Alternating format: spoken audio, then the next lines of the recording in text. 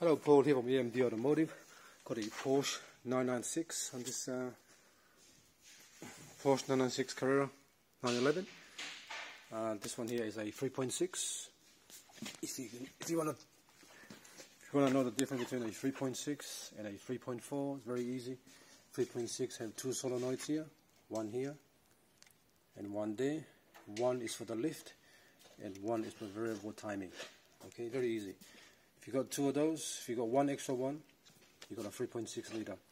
If you only got one of those, that means you only got you only have a 3.4 liter. 3.4 only had uh, didn't have the valve lift. Okay, 3.6 had the valve lift. It's basically the same engine, be more uh, bored out, bigger pistons, um, but the actual um, the bore's a little, little bit bigger to make it from 3.4 to 4.6, but the main difference is this. This one and that one there. Valve lift, variable timing, adjusted. Anyway, um, this one here is all taken out. this one I've taken the bearing out. I've got my uh, part already last week. I'm sorry, yeah, like this week. I've got my flywheel already, so I don't like to do the work when the I don't like to actually um, do a little bit, do a little bit, do a little bit. I want to rather get all my parts and just assemble the car and finish it.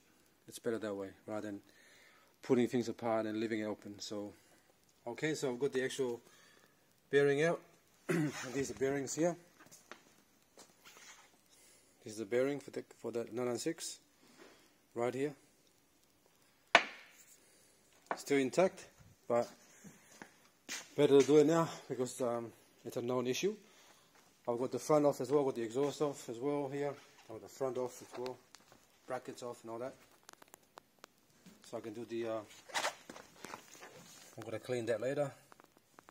So I can do the oil feed with a modified drive. That's the original, original one there, so I'm going to do that as well. Seal it all up. I'm going to do replace the water pump as well because I got a brand new water pump customer. I've done the spark, I've done the spark plugs and the actual um, ignition coils, as you can see. That's all done. Both sides. So I'm just going to assemble, put the new bearing in, put the modified uh, uh, drive oil feed from the other side, and then pretty much uh, clutch, new clutch, new flywheel, new um, new one of these. That's the actual uh, clutch slave cylinder, and a new oil cooler because the oil cooler is already leaking. You look here.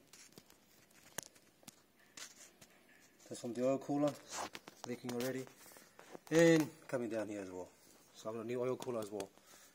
Alright, so next week is pretty much assemble and uh, put the engine back in the car. Alright?